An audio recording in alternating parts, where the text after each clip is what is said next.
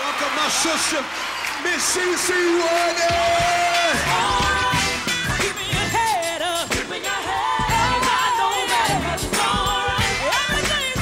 CeCe brings something unique to gospel music. With CeCe, the sky's the limit. She just has that much power and that much grace. Thank you so much. I love you. Thank you. What makes CeCe so special is who she is as a person, what her value system is, her love for other people. So good. Yeah, yeah. So good. He's been so good. Whatever she does, it's for the right reason, and that reason is to touch people. That's why I sing. That's why I'm here today. Because of her style, her beauty, her poise, she's enabled gospel to cross over. CeCe's gift was special. It truly was special. And it was from God.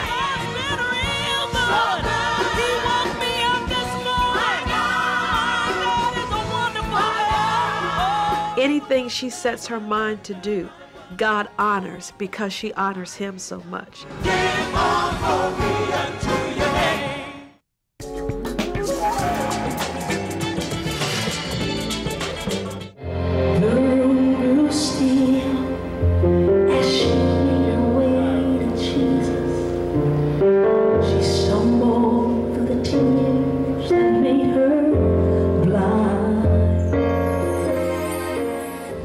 As far back as I can remember, I, I used to sing. I remember singing probably just as much as I remember talking.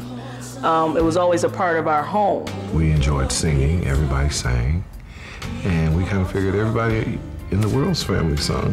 They just kind of fell into it and, and started doing their own thing, making up their own songs, learning to play their own instruments. When we talk about the Winans family, we talk about a family that has been inordinately popular, not just within the church realm or the gospel community. Pop took four of his older sons and created a successful quartet, the Winans.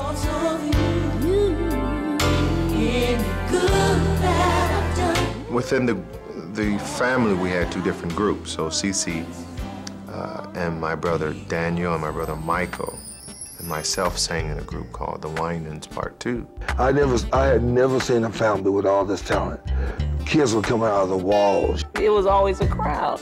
I mean, when you have 10 children in a three bedroom home, you have one full bathroom upstairs, you have one a half bath downstairs. Now there's a place that's blessed. Now there's a place that's blessed. Where we find happiness. Never a dull moment. We had 10 kids, but they when they bring their friends home, it was more like a community center. My mom had seven boys straight. And uh, it's funny when she tells the story how even though she was happy she had a healthy child and a healthy pregnancy, every time they told her it was a boy, you know, I guess probably after that third one, it's like, come on, it's a boy. So she said she would turn her head and just go to crying. And I felt like that was so sad. When I was in the delivery room, when the doctor told me a girl, I was kind of groggy, and, and then I, I think I asked him about six times, Did you say a girl? You did say a girl. Seven boys. I had a ball team, you know, just about. Just about, well, seven. When my daughter came, I was very much uh, rejoiced over that. I can even remember the time when they brought her home. I was like eight years old. And um, uh, of course, I was used to my parents bringing babies home.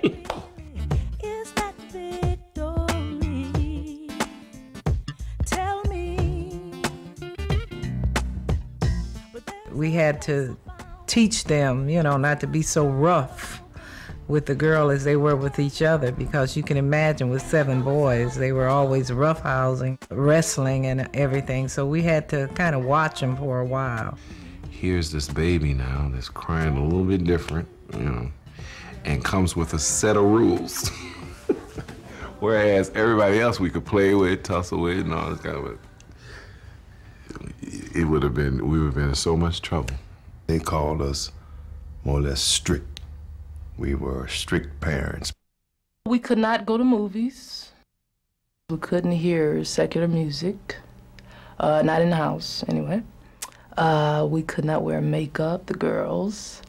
Uh, we couldn't wear pants. Now, some of the rules came from the church, and then some just came from us being parents. And and back then, we felt that children were children and parents were parents, and we didn't get them mixed up.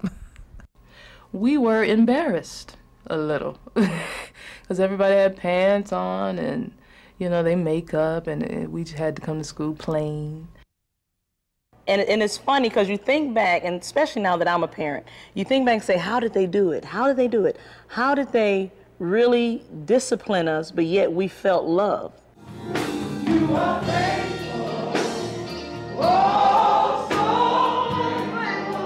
Didn't sing a lot in school. I was very, you know, to myself, very quiet. I didn't like singing out front. Loved singing at home, you know, in the shower, you know, at, you know, whatever, with with the group of people in the choir. You know, that was just activity for us to sing with the choir, but never really desired to be out front to do it.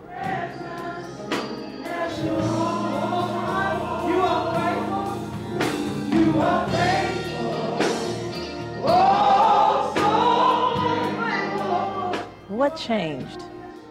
I realized that it was more than just a gift and realized that when I sang, it was more than just a voice.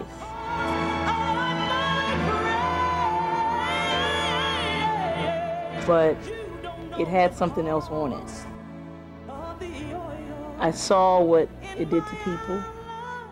I started feeling different as I sang, the more I sang. And I felt like I was becoming more of a tool, more of an instrument, more of a vessel to, to bring good news and to spread joy and peace.